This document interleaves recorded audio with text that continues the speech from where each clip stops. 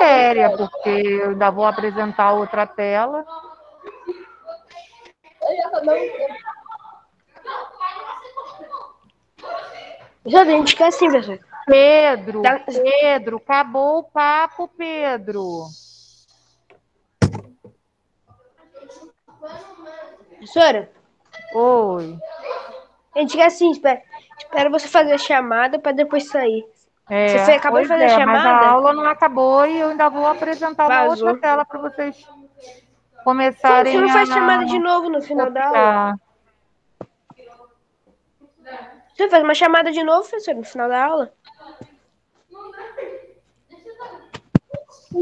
Hein? Agora eu já marquei aqui, não tenho como riscar aqui. Não posso rasurar o diário. Professora Aline, Oi. é verdade que tipo, se o cachorro fica muito. Se o dono do cachorro fica muito tempo sem ver ele, ele fica com saudade quando ele vê o dono ele começa a chorar? Sim. Professora, Oi. tem como um cachorro morrer de saudades? É, dizem que sim. Já vi histórias assim, relatando isso. Que aqui perto onde eu moro, morreu dois cachorros. Um morreu de velhice normal, aí o outro ficou com saudades e morreu do nada, e o outro era novo. Hum. A de velhice é normal. Eu já ouvi pessoas O falando outro tinha isso. só apenas dois anos, o que morreu de saudades, o que que morreu de saudades, dois anos. Ó, vou parar da- com essa tela e vou mostrar a próxima, tá? Uh, Ah, peraí então, peraí. Depois, Professora, Maria Raíssa perguntou se você pode colocar a presença dela porque ela Peraí. voltou atrasada. Só um instante. Pronto, vou coloquei de novo, se vai aparecer. Ô, João, mas se se o cachorro morre de velhice é normal. Porque já tá muito velho. Quem não fica triste quando girar não não. Ei, peraí. Quem foi que autorizou vocês ficarem conversando? Se o pessoal de casa me chamar, eu não consigo escutar. Hoje o microfone já está baixo. Tem alguns alunos que estão falando comigo, eu já não estou conseguindo escutar direito. Vocês falando aqui também. Danou-se. Ó. Pediram para voltar aqui rapidinho. Quando terminar o pessoal de casa aí, me avisa, que aí eu vou passar para o próximo. Já... Hã? É pra copiar? Não, esse é o antigo ainda. Eu, eu coloquei de novo porque pediram para colocar de novo. Ah, tá. Ainda não coloquei o de hoje, não. Eu ia colocar, mas aí mandaram eu voltar. Professora, e também só falta 18 minutos. Não, é até 10 e 20. Não é até 10 Então- horas, não. Então, professora, 18 minutos. Ana, tá atrasada e tá Então, falando, professora. Ana. Professora, então, professora, Ó. 18 minutos, são 10 e 2. Ah, eu entendi você falando dois. Hoje eu não tô conseguindo ouvir direito vocês, não. Tá baixo. E agora, tá ouvindo mim. bem, professora? Eu tô falando baixo. Agora tá. É que ultimamente eu tô falando baixo. Às vezes, que eu tô com Posso preguiça. tirar a Nathalie? Conseguiu terminar? O de Nathalie, então, não tô conseguindo ouvir nada. Tá muito baixo. falou que ela tá acabando. Tá, tá. Nathalie falou que ela tá Tá, acabando, tá professora.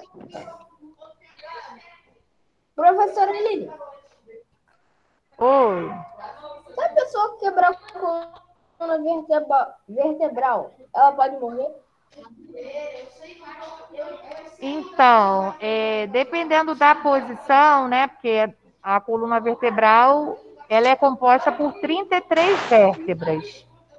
Aí a gente tem a vértebra cervical, tem a vértebra torácica, tem a vértebra lombar, tem a sacral. Dependendo da posição que tem acontecido o acidente, Morrer, morrer, ela não vai morrer, não, mas ela pode ficar sem andar. Ou então perder o movimento do pescoço para baixo, né? Ficar tetraplégico. Aí depende do tipo de lesão que ocorreu na coluna, entendeu? Mas morrer, não, não corre risco de morrer, não. A não ser assim, que quebre essa parte aqui do pescoço, né? Que é a cervical. Se quebrar, se for para o lado quebrar, aí realmente a pessoa morre, porque não tem como nem fazer nenhuma cirurgia aqui no, no pescoço. Agora, se for numa região mais para baixo, aí ela pode ficar com alguma sequela ou ficar sem andar, alguma coisa assim, mas Boa, consegue não, né? sobreviver. Ela é, ela é igual é- cabeça, ela é toda encaixadinha, entendeu? Uma vértebra encaixa na outra. Ela é toda encaixadinha. o que acontece se a pessoa quebrar as duas costelas? As duas das costelas todas. O que acontece? Se quebrar duas costelas, As duas costelas, os dois lados. a costela ela não tem como engessar. Aí você vai ter que ficar de repouso em casa Então ela vai se Pra, Reconstruindo. exatamente. Aí vai ficar aí um bom dia, uns 30, 40 dias mais ou menos de repouso.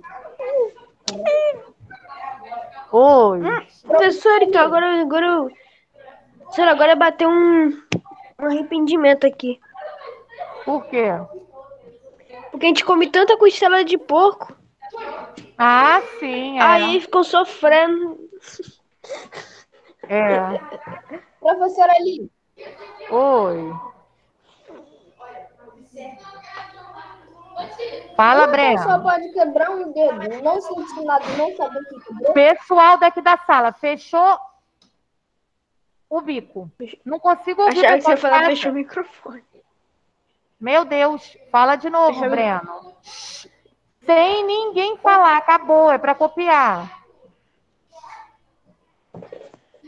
Fala de novo, Breno.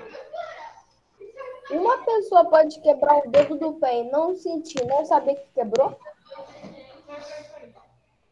Olha, pode até acontecer, só. Ó, Depois agora eu dor, tô né? apresentando o de hoje, tá? É esse pedacinho aí, o de hoje. Furúnculos e só que. Breno, como, como vai acontecer isso, Breno? Sendo que a pessoa vai sentir muita dor.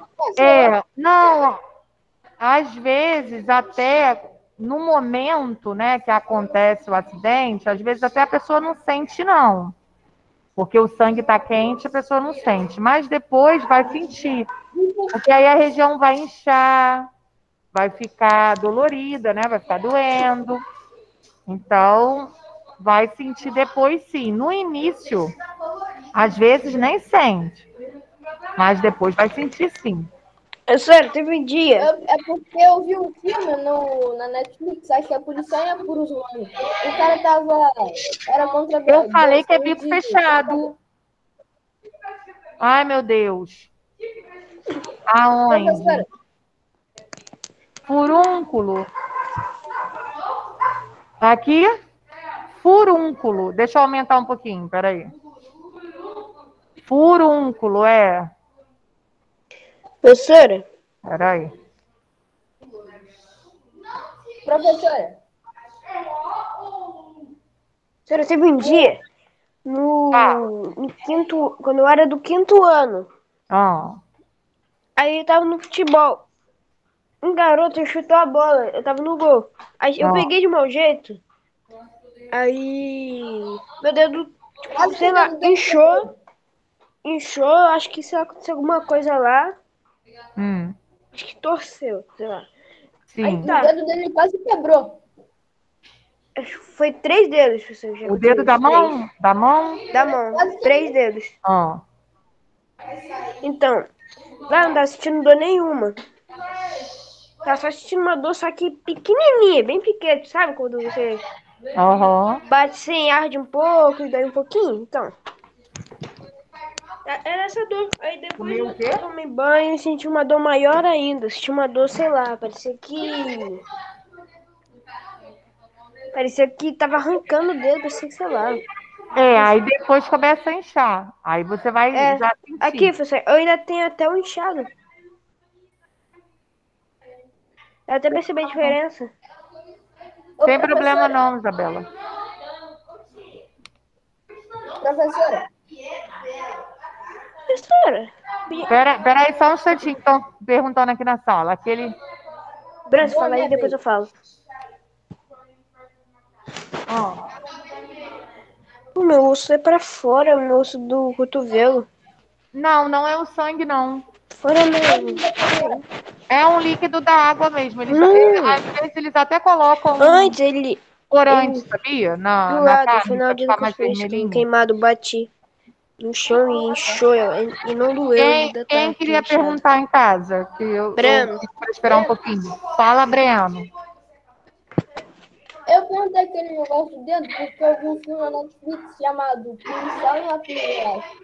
É porque tá, os caras estavam contrabandeando droga, eu acho. Aí nisso, eles começaram a trocar tiro. Teve um policial que saiu ferido, só que ele não sentiu, porque eu acho que ele estava no calor do momento. Aí depois que acabou a confusão toda, ele começou a sentir. Aí o cara ele pro hospital.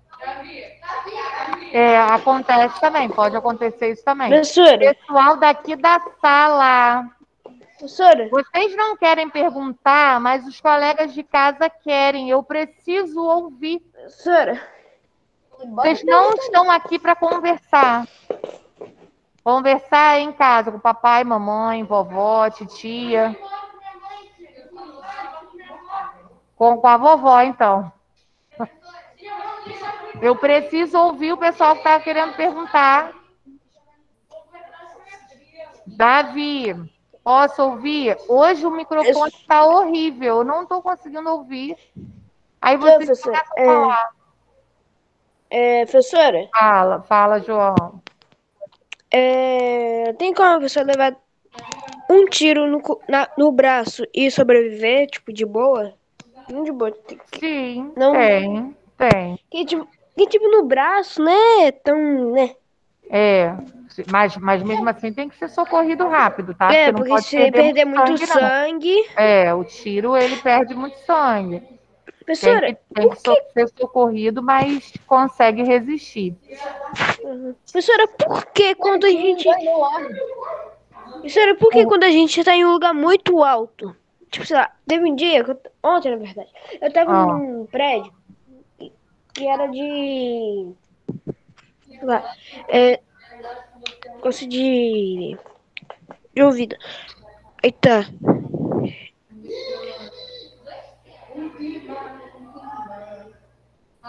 Eita.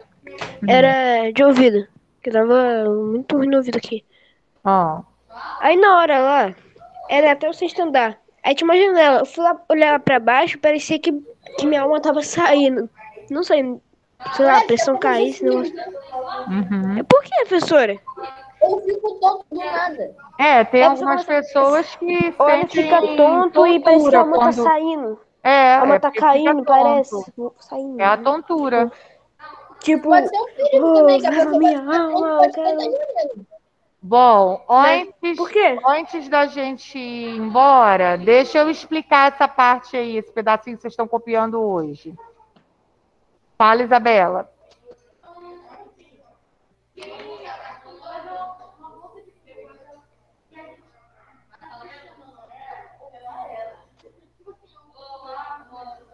O correto não é fazer isso, porque pode espalhar a infecção. Vou, vou falar sobre isso agora.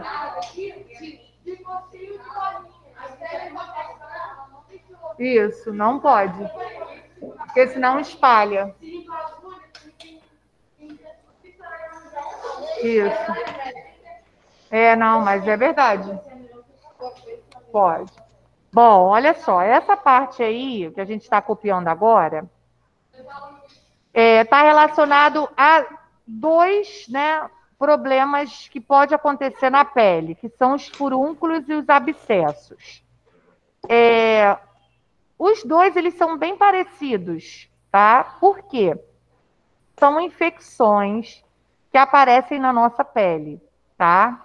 Então, tanto o furúnculo quanto o abscesso, ele nesse processo de infecção, né, vai estar uma área da pele inflamada é, e vai formar uma bolsa de pus, que é esse processo de, de inflamação que dá na pele. A Isabela até estava comentando aqui, fazendo um comentário, sobre espremer determinadas áreas do corpo em que estejam infeccionadas com essa presença dessa bolsa de pus. Nós não podemos fazer isso, tá? Espremer. Nenhum tipo de infecção. Nem mesmo uma espinha, que a espinha, às vezes, também, ela fica com uma pontinha amarelinha, não fica? Aquela pontinha amarelinha ali é uma infecção, é um pus que está ali. O correto é a gente fazer o quê? Ou a gente esperar o furúnculo ou o abscesso estourar sozinho, ou então fazer compressa de água quente no local. Quente não, né? Morna, porque quente ninguém aguenta. É, uma compressa de água morna. É, porque você vai esquentar a água, né? Vai ferver a água, mas você vai molhar o algodão ali naquela água, mas vai esperar um, um pouco, né? senão vai queimar a sua pele. A pele ela é muito sensível. Aí você vai testar a temperatura que você aguenta e vai colocar o mais quente possível, mas não pelando. E aí, você fazendo essas compressas, essa bolsa de pus, ela vai, a pele, ela vai ficando fininha. Porque o, a água quente, ela puxa, né, toda essa infecção que a pele tiver, ela vai puxar. E aí ela vai estourar com muita facilidade. Depois de uns dois dias, três dias, vocês fazendo isso, vai estourar sozinha, sem precisar espremer, sem precisar apertar, sem nada. Pode, Isabela. Oh. Professora. Professora. Nossa, professora, eu coloquei, ao invés de bolsa, eu coloquei coisa. Isso. É uma bolsa. Professora, o que é furúnculo, furúnculos e abscessos? Então, olha só. É, Isabela está perguntando aqui o seguinte, ó. Quando a gente. Ela deu o exemplo de um gatinho, né? Que estava com uma infecção perto do olho. E aí foi limpando, né? Para poder tirar essa infecção. Só que mesmo depois de limpar tudo, de deixar tudo direitinho, no dia seguinte estava infeccionado de novo. Às vezes pode acontecer isso com os furúnculos e com os abscessos. Eles acontecem isso também. Por quê? A inflamação ela está dentro da pele, ela está na segunda camada da pele. Então, ela vai sair aquele pus que está ali por cima. Só que como a água quente ela puxa a infecção, se tiver mais pus na segunda camada da pele, que é onde está a glândula, né, responsável por isso, vai puxar mais. Então, não sai tudo de uma vez só, não. Às vezes tem gente que fica dois, três dias colocando essa secreção para fora da pele. Enquanto estiver infeccionado, vai fazendo a compressa quente e essa compressa de água quente ela vai puxando cada vez mais a infecção. Se for um caso muito grave, como é o caso dos furúnculos e dos abscessos, que geralmente eles ficam uma bolsa de pus grande, às vezes a gente precisa, além de fazer a compressa, ainda tomar um antibiótico para essa infecção, tá? Às vezes a compressa sozinha não dá conta de resolver o problema, não. A gente vai ter que procurar um dermatologista e ele vai passar para gente um, um antibiótico para a gente tomar, tá? O furum, tanto o furúnculo quanto o abscesso, ele é provocado por um tipo de bactéria. Então, por isso que a gente tem que tomar um antibiótico. Fala, Isabela.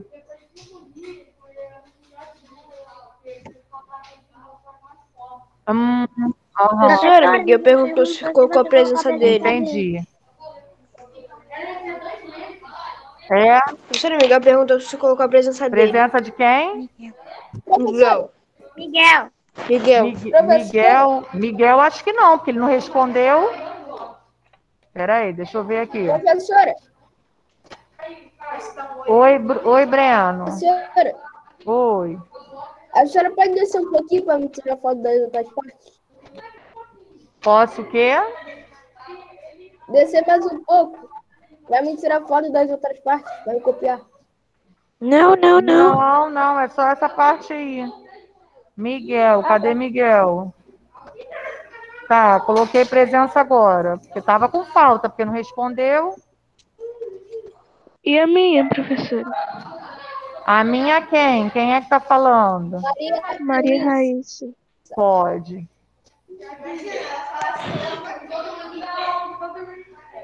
A sua tá com presença. Senhora, Tá. só isso? É, hoje é só isso. Terminaram de copiar, vamos pra lá, meu Deus, todo mundo em cima de mim. Tchau, Pedro. Terminei. Posso parar então aqui de compartilhar? Sim, por mim pode. Não, por mim. Todo mundo tô procurando- terminou? Professora, Eu tô acabando, tô no finalzinho. Ah, então tá bom. Vou esperar então. professora, como que pega esses Por furuncos? mim pode. Então, é, é provocado por uma bactéria isso. Então, se você utilizar é, qualquer coisa pontiaguda, suja, acontece muito isso com, com injeção. A pessoa te der uma injeção e a agulha ela não for esterilizada, pode ter uma bactéria ali.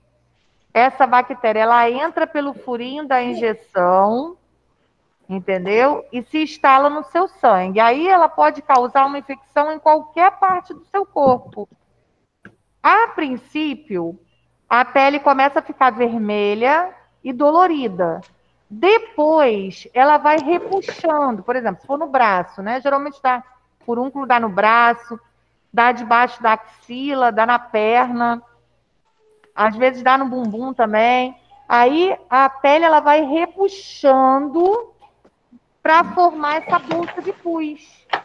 E aí E abscessos? o inflamatório vai aumentando. O abscesso é a mesma coisa. Só que o abscesso Que é menor. Tá? O abscesso é menor, o furúnculo fica maior. professora, tá? E aí, enquanto a gente não toma um antibiótico, o problema não se resolve. Por quê? Porque a bactéria ainda. Você vai cuidar daquela parte ali, mas se você só cuidar com a compressa de água quente, é, a bactéria ainda está dentro de você. Então, por isso que o dermatologista passa também um antibiótico para liquidar com essa bactéria, entendeu? professora, Entendi. Oi. onde que, a que as pessoas botam todo o carbono? Botam o quê? Bota todo o carbono. Jogador das, das 20, tia. Não entendi não, Breno. Sua pergunta. Aonde a pessoa bota todos o, onde as pessoas botam todos os carbonos? Não sei. Aonde você viu isso? Não sei. Oi? Ó, tio Júnior já, já tá saindo da sala. Eu vou ter que interromper para poder ir lá para 61, tá? Tá. Já, professora, É. semana, semana que vem. Senhora, mais um pouco, professor, mais um pouco. É, Beijo, até semana que vem. tchau, professora. Beijo, até quinta. Quinta